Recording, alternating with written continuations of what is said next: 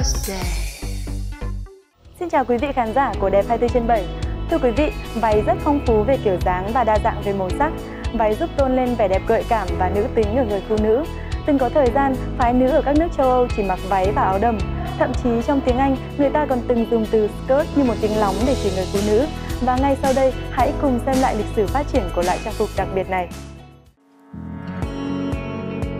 Váy là một trong những trang phục cổ xưa nhất của loài người. Ở thời sơ khai, váy được làm bằng da thú hoặc lá cây, có hình chữ nhật được quấn vòng quanh eo. Độ dài của váy tượng trưng cho uy thế của người phụ nữ. Váy càng dài thì thanh thế của người phụ nữ càng cao vì trước cuộc cách mạng công nghiệp, vải sợi rất đắt tiền.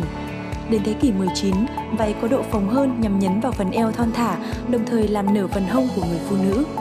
Theo thời gian, váy có phần ít phồng hơn và suông hơn, vào thế kỷ 20, nữ giới ưa mặc váy có độ dài ngắn hơn và thoải mái hơn để làm việc.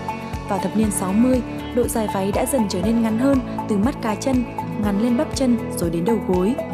Lấy cảm hứng từ những chiếc váy ngắn được thiết kế bởi Angel Corris vào năm 1965, Marie Kwan đã sáng tạo ra kiểu váy phổ biến đến tận ngày nay, váy mini.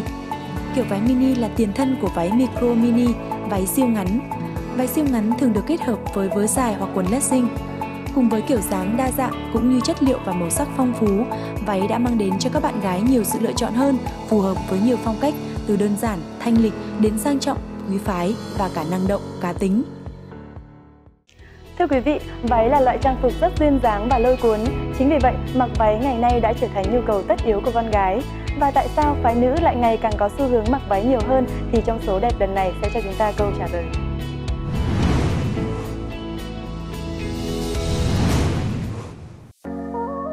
Phần con gái khi mặc váy thì nhìn đều xinh xắn, duyên dáng và đẹp hơn so với khi mặc quần Âu. Điều này khiến cho phái đẹp cảm thấy tự tin và đáng yêu hơn rất nhiều. Bên cạnh đó là cảm giác thoải mái, dễ chịu hơn so với mặc quần Âu. Khi diện những chiếc váy, nhìn phái nữ sẽ quyến rũ hơn rất nhiều. Quyến rũ về đường cong cơ thể, quyến rũ về sự mềm mại, uyển chuyển trong từng bước đi, quyến rũ ở cả lời ăn tiếng nói.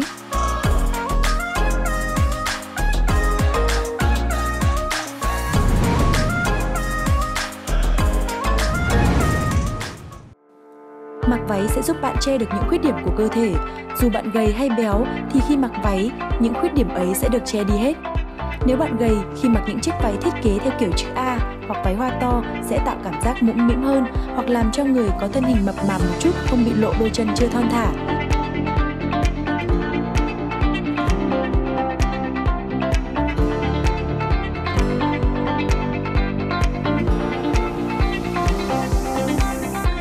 Nếu bạn có thân hình hơi quá khổ thì những chiếc váy đen sẽ giúp bạn trở nên thon thả hơn, nhìn thanh mảnh hơn.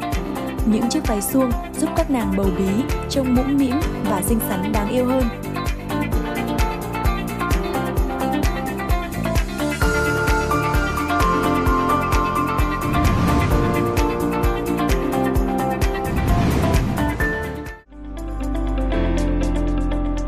Mặc váy được coi là một trong các phụ kiện để làm mới bản thân mình nếu bạn chưa từng mặc váy bao giờ mà một ngày nào đó súng xính đáng yêu trong một chiếc váy thì đó thực sự là một thay đổi làm cho bạn đẹp hơn và người khác cũng phải ngước nhìn. Rồi từ kiểu nọ sang kiểu kia, màu này sang màu khác sẽ khiến cho các chàng trai bị cuốn hút ngay lập tức.